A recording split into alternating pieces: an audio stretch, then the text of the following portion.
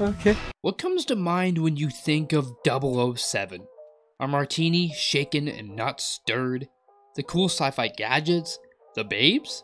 Maybe Daniel Craig's face comes to mind. I don't know. And I'm not gonna judge.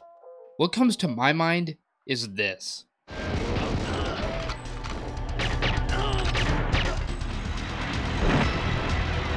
007 GoldenEye, a film to game adaptation, released in 1997 on Nintendo's home console, the glorious N64. The game soared after launch, amassing a huge player base and grossing over $250 million worldwide. This ended up ranking it as the third best selling Nintendo 64 game ever, only behind certified classics Mario Kart 64 and the glorious, glorious Super Mario 64 games that need to be brought back. Its gameplay, variety, and added multiplayer mode was all the craze back in the day. I feel bad for all the kids out there that will never get to experience sitting in a room together playing all on one TV as everyone accuses each other of screen cheating. Guess what? We were all screen cheating. It was impossible not to. And for anyone who grew up with this game, we all know that one person that refused to play as any other character other than Oddjob. No! No! A character notoriously built to give players an unfair advantage over their opponents due to the guy's short stature. It was just impossible to hit this guy. I'm done. End the fucking game. Since the release of the extremely mediocre 007 GoldenEye Reloaded game starring Daniel Craig's Bond and a cancelled remaster of the N64 Classic in 2008 due to rights issues, it seemed eager fans were never going to get their hands on it again in a mainstream way. Thankfully, though, Xbox and Nintendo stepped up to the plate and announced not long before its release last Friday that the game would be coming to their respective online subscription services, Game Pass and Nintendo Online, with the added bonus of a 4K resolution and a stable frame rate of 30 FPS. You fucking.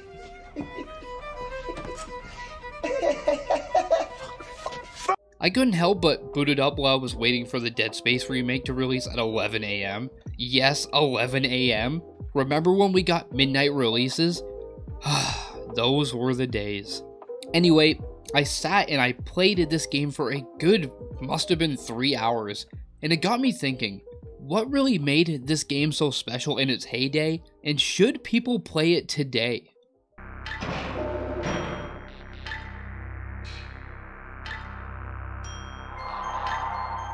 Prior to its release all those years ago, press and media attention surrounding it was really less than stellar. No one expected the game to become the phenomenon it amounted to post launch. It was developed by a small team of 10 people, two of which had never worked on a game before. They aimed to innovate on the current first person shooter market by creating story based levels with exploration and multiple objectives, and innovate they did. The game had an undeniable effect on the game industry and took that first step in showing the world what shooters on consoles could look like. A hurdle that Halo would finally overcome in the early 2000s under Microsoft. In fact, GoldenEye had such a wide reaching effect that the president of Metro Goldwyn Mayer, the distribution company for the Bond films at the time, announced that the game had a direct impact on Pierce Brosnan's films bolstering their success and widening the franchise's appeal as a whole. It played a part in making the franchise as popular as it is today.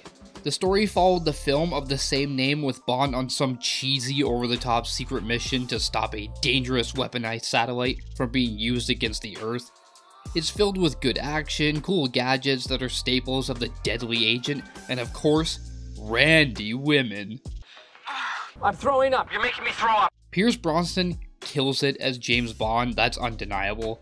Though I personally much prefer the angle of Daniel Craig's Bond in his story.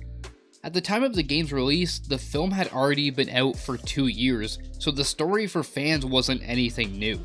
It did an okay job at conveying the story in its gameplay, but it really wasn't as engaging as its competitors around the same time. Popular titles like Duke Nukem and Star Fox 64 had voice acting, while GoldenEye didn't, making these long moments of conversation with subtitles just really bland. When you hear people talk about this game, no one ever brings up the story, and that's because what made it so special was its gameplay.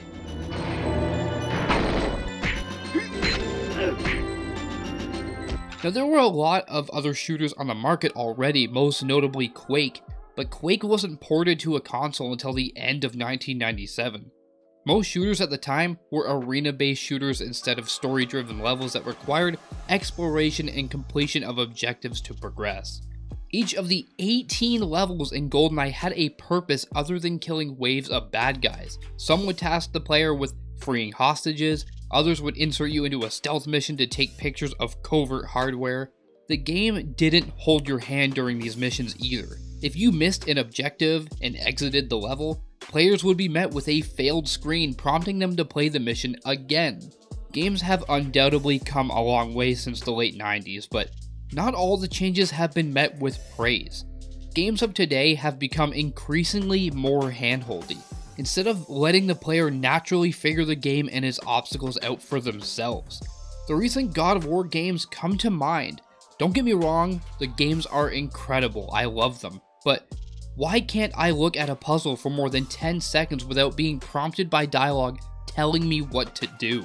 Why can't I figure that out for myself, even if it takes me longer than the average person? In fact, why include the puzzle in the game at all if you don't allow the players to figure it out for themselves? I guess it's a good way to pad out the game's length, but still, I know I'm not the only one who feels this way, proven by how many people have complained about it over the years. On top of its missions and objective variety, 007 was the first game to have multiple hitboxes on enemies, allowing them to react in a more realistic way. Shooting a guy in the foot has them put their body weight on the uninjured leg. Shooting them in the shoulder makes them grab at the area of pain. It helped the gunplay feel more grounded with visual feedback in both the enemy's reactions and the wide arsenal of guns. The game as a whole took a more realistic approach, even if how enemies react in their over the top 80s action style death animations are the furthest thing from realistic in today's standards. Back then, it was remarkable. Pointing out too that some games today don't even have this level of attention to detail. Assets could also be destroyed in the environment with stray bullets that could affect their surroundings by killing enemies or even hurting the player if they were too close. The AI was certainly more intricate than games had seen before, they would patrol and react to the player in different ways. Foes would display different movements during engagements like side jumping out of the way, rolling to get into cover, or ducking. Sometimes it's hard not to laugh at these animations though, pair them with those really low poly faces and it's just comedy gold. What is that? I wish I could say the friendly AI was on par, but it just falls short. Hostages will run right into gunfire. Why are you running? Why are you running? And escort missions feel like you're escorting a blind person without being able to talk or touch them to nudge them in the right direction. Despite these minor gripes, the gameplay kept people coming back. Thankfully, players had a lot to return to in the form of these 18 missions because each level was equipped with multiple different difficulties that would add more objectives and increase the damage output, reaction times, and even increase enemy presence. With three difficulty modes and a secret fourth being unlocked once completing all 18 stages on the highest option, players had a lot of content on offer, especially for the time. I haven't even brought up the multiplayer component yet, an addition that arguably made it as big as it was. Other multiplayer games of that era were mostly based around some form of connection to play on different systems together like a PC. Multiplayer to consoles was new, and because the N64 launched with 4 controller ports, Rare thought it would be a good idea to include a fully fleshed out multiplayer mode capable of up to 4 player couch split screen. And they thought right, it was a great idea. There were a variety of modes that shipped with the game, some original like Man with the Golden Gun, a mode that would place a golden gun capable of one-shotting everyone on the map, and other standard modes like Team Deathmatch. It was heavily customizable, allowing the players to alter settings like choosing characters, what guns are found in each match, and what map to play on. Rare's title took a realism approach in terms of its presentation. Every setting and every character model is based in reality. This kind of had to be the case because it was based off a film, so their artistic vision for what the game could look like was severely limited. It offers a lot of bleak colors with a lot of grays and browns, when you compare it to games that released the same year, I'd say it holds up. Sure, some games had a little more detail in their assets like Turok, but Rare pushed the N64 to its limits. 3D gaming was not yet fully made popularized, and as such, it required a lot of power.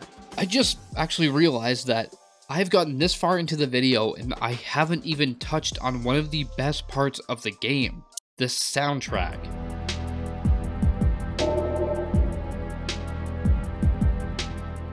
Facet that was universally praised when it released all the way up until now. You can't listen to the main theme of this game and tell me that it doesn't slap harder than Will Smith at the Oscars. Yes, I'm still using that joke because I find it incredibly funny. There really aren't many games that have me actively pausing mid-gameplay to hear the epic music. Each mission has its own track as well that gives off the Cold War espionage vibes. Some are more bombastic with heavy drums, and others are more subtle for covert missions. This is just my personal opinion, but it's definitely up there for some of the best music intertwined with this franchise. Look, some people still question why GoldenEye for the N64 found such success, but when you look at its innovations and unique elements for games of that time, especially on consoles, it's really easy to see why even in today's current market, people look fondly upon it, myself included. If you have major nostalgia for a game, it's a no-brainer to go play it again if you have an Xbox or a Switch. If you do have them, then you probably already have played it. Even for the newer generations of gamers. Go play this and see what games used to be like. It'll make you appreciate how far games have come, and you may even find a challenge here. Should you play it today? Hell yes you should. I think it says a lot that a game from 1997 is still enjoyable today. That's going to wrap up this video on 007 GoldenEye. Thank you all for watching. If you like the content, please be sure to like, comment, subscribe. Peace out.